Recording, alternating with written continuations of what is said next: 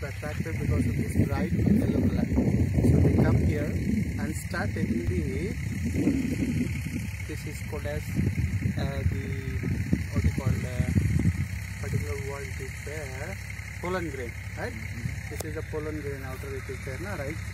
So here the pollens are there. So different uh, pollens we are going to produce. This is called as a disc. Okay. okay this is a disc. This is a ray florets.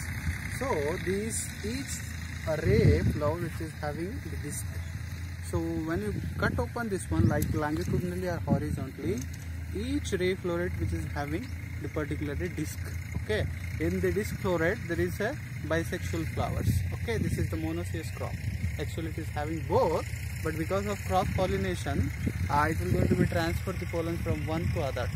Because uh, before opening of flower uh, the pollens will going to be carried from different flowers Okay. and the wind will also be there and many insect also be there because I can see all the move, move inside. yeah because all the flowers they have exposed to the external environment okay that's the why the main reason for the cross pollinations okay this is one.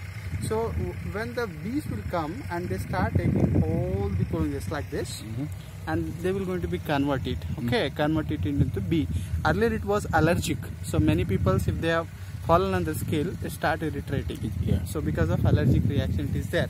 And one of the thing is that uh, that phytochemical it is going to produce a lot of phytochemical in the soil other crop here that will not going to be germinated so that's the reason why this is there phytochemical it is very large quantity so because of that reason we will have to take this crop in the summer season so after summer we are going to be uh, leave the land as fallow that time they will going to be neutralized. I can open neutral.